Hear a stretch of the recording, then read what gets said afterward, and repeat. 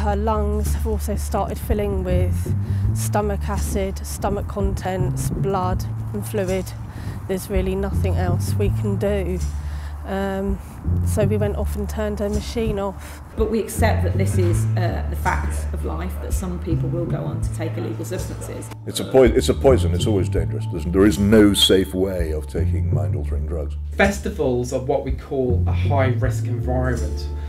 If you wanted to think of the worst possible place possible to take an illegal drug, it's probably a festival. Drug checking, the act of testing drugs for purity and contaminants, is new to the UK. It was brought to the UK festival scene in 2016 by a charity called The Loop. But worldwide, it has been around for a lot longer, even dating back to the Summer of Love, 1967 in California, where there were sometimes tainted batches of LSD.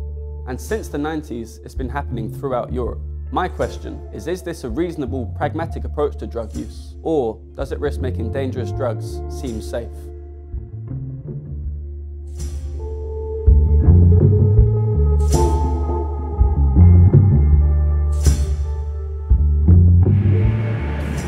In order to get a better understanding of the issue, I need to see it up close and personal. But it's December, and there aren't many festivals going on at this time of year. So I'm heading up to Durham see Fiona Measham, who works for The Loop. The Loop are organising a day of testing in Durham city centre so hopefully I'll find out a bit more about the issue. Yeah, so the main concern would be that we are encouraging illegal drug use and we're very clear that we don't. We say that to the service users that we're not encouraging or condoning drug use. We tell every service user that the safest way to take drugs is not to take them at all. Um, but we accept that this is uh, the fact of life, that some people will go on to take illegal substances. Uh, and the people who use our service have already bought the drugs, they've already uh, brought them in to be tested, and the likelihood is that they were going to go on and, and take them. And therefore, what we're saying to them is, hold on a minute, please test these substances. You've got no idea what's in them, uh, and we can provide uh, harm reduction advice, and also we can flag up the risks. So for about 15% of people, the drug isn't what they thought, and then they don't go on to take that drug. We find from our service that over two thirds of people who haven't got what they thought they got then hand it over and they don't take it themselves. Georgia Milburn died at the Mutiny Festival in 2018 after taking two high dose MDMA pills. I met up with her mum Janine, who has since become a drug education activist. We went back to the field where the festival took place. How do you feel about the practice of, of this drug safety testing? I think it's good. If there's a way of preventing more deaths, then we should be using it. Um, the drug dealers at the moment hold everything in their courts. Why should they get away with murdering people, making people sick when there is a way of helping to stop it, I suppose? Can you tell me a bit about the day? They were getting picked up at midday, which they did. Um, went out, waved them off, said what I always do be good, be careful, love you, see you both later. And I got a phone call at about half past four from her sister saying, Mum, Mum, Georgia's fitting. Uh, the paramedics are with her. Um, we got here just as Georgia was being loaded in the ambulance. Um, all I saw was her feet going, um, and her sister stood there crying. After about 20 minutes, I had the consultant come out. He asked me if I knew exactly what she'd taken. Um, all we knew was two pills. Her heart had stopped a couple of times, getting harder to restart. And he explained to me um, what had happened was she'd taken the pills. Um, it had caused her to go in and out of consciousness and pass out, which is when the fittings started due to extreme high temperature. Um, at one point, it didn't even register, it had gone that high. Um, she was fitting for nearly 50 minutes and the body can only take so much. And with her, the body started to break down, and it does that by um, dissolving your muscle. And as the muscle dissolves, it causes the blood to turn acidic, um, which then obviously affects every single organ of the body. Anyway, he went off and told me it's sort of it's serious. You need to get people down here. Okay, I thought a few days in hospital okay, we can deal with that. Came back again and said, look, she's her heart stopped again another couple of times. It's getting harder each time. Um, I'm honestly trying everything I can, but it is getting to the point of no return now. Um, everyone turned up, family wise, and he came in a couple of minutes after and said, um, unfortunately, now her heart has stopped again, but her lungs have also started filling with stomach acid, stomach contents, blood, and fluid. There's really nothing else we can do. Um, so we went off and turned her machine off. Um, she died at 20 past eight.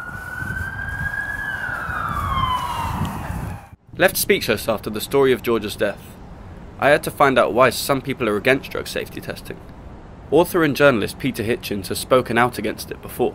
When he came to Winchester to promote a book, I arranged to sit down with him. Do you think there's any value in sort of a pragmatic approach that realistically people at music festivals are going to use drugs? Well, if they're going to use drugs, then realistically they should expect to be arrested and prosecuted for breaking the law. And the police should arrest, them, arrest them and the Crown Prosecution Service should prosecute them.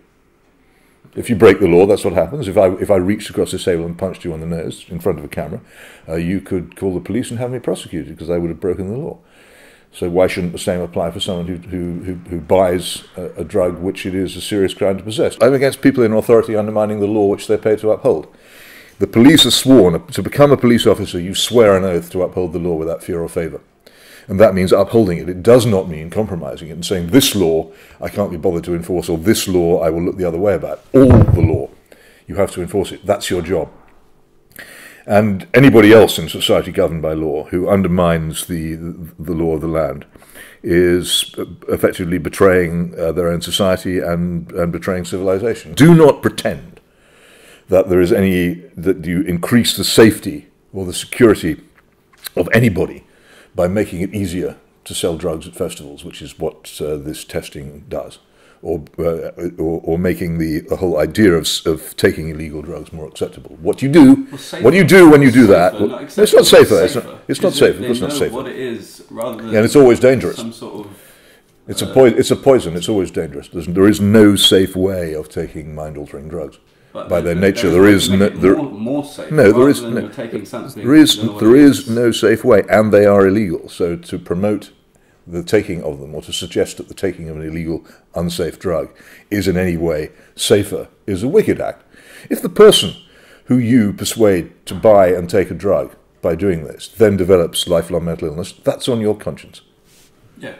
Okay. Well, I wouldn't want to. Ha- I wouldn't want to have that on my conscience myself if they die I'm not talking about dying. rat poison or something like that, which is in the drugs, which they would have found out had they tested them. No, the simple the simple rule the, the simple rule with illegal drugs is they're illegal. Don't buy them. Don't take them. That's what the law is for. It's to warn you. It's the, that's that's what the purpose of the law is: is to warn people away from doing stupid, irresponsible things, which will damage them, which will damage themselves and ruin the lives of their family. People I've spoken to so far have fallen on one side of the issue or the other. Sometimes, as with Janine, after going through serious personal pain caused by drugs.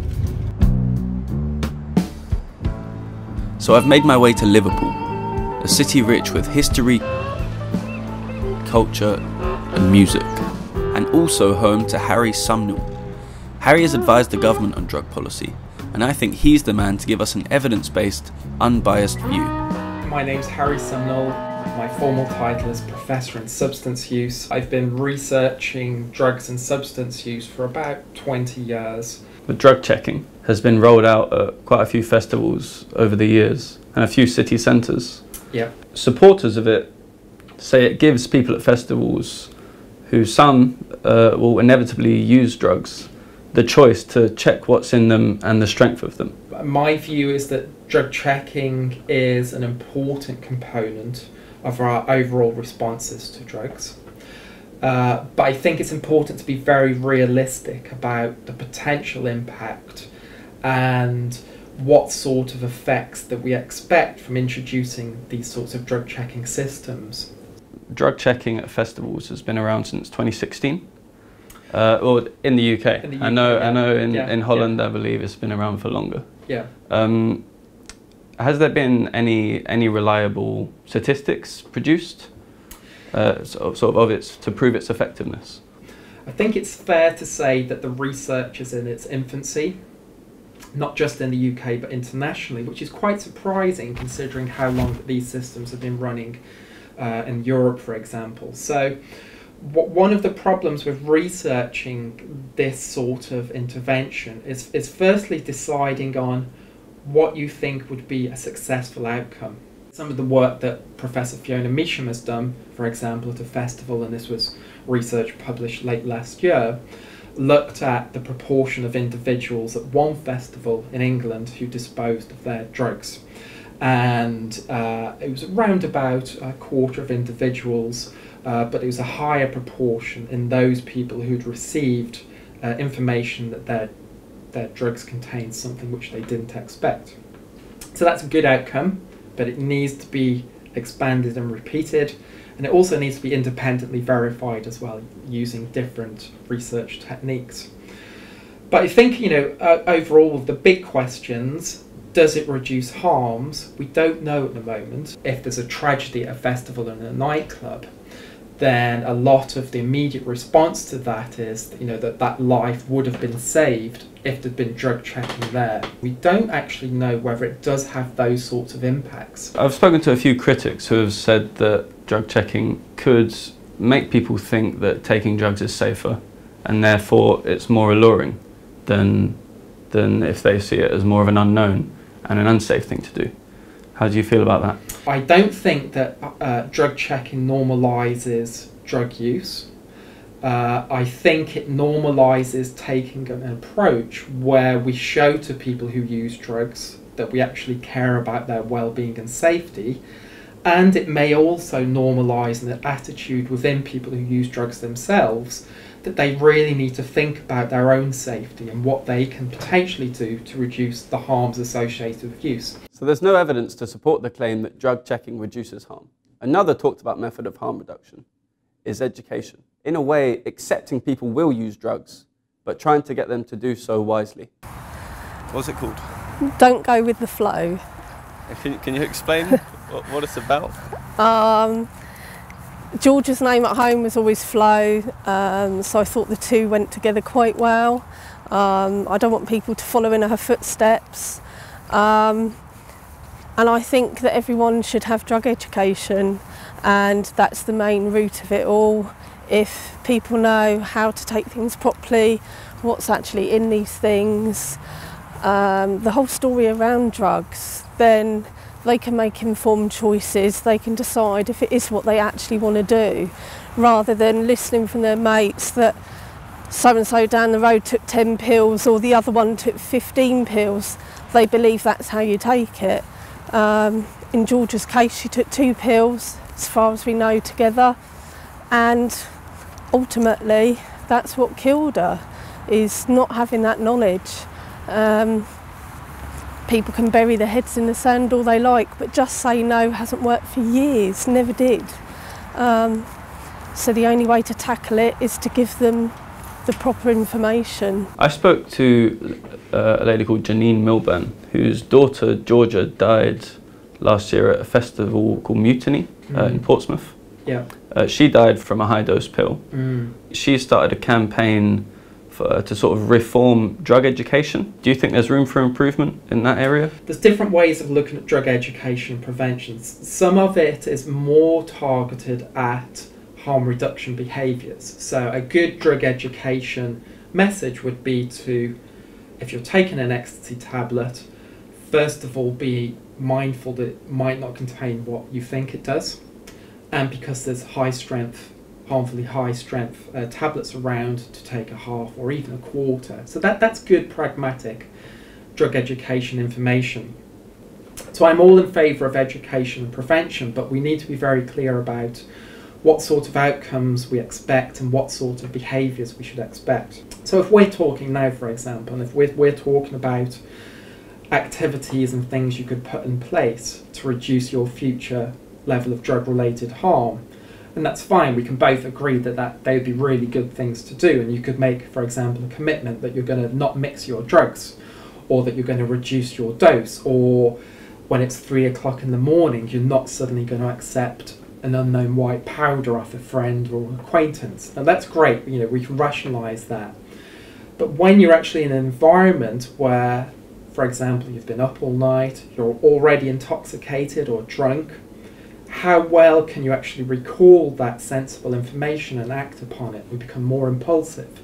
We start to act on the moment. If we consider a, a festival, for example, a weekend festival, so two or three days of hedonism, people partying, enjoying themselves, many people taking more drugs than they would do usually, many people taking drugs for the first time, many people being exposed to drugs uh, that they're un- where they're unfamiliar with the effects. And because of, of course, we're talking about an illegal market, the drugs market, there's no quality control, there's no dose control there. So, festivals are what we call a high risk environment if you wanted to think of the worst possible place possible to take an illegal drug, it's probably a festival. So I've been up and down the country. I've talked to people on both sides of the argument, and even a professor who specialises in drugs. And so far, there's no evidence on either side. But one thing we do know is that the UK has one of the highest drug death rates in Europe. And with 3,756 people dying from drugs in 2017, surely change is needed somewhere.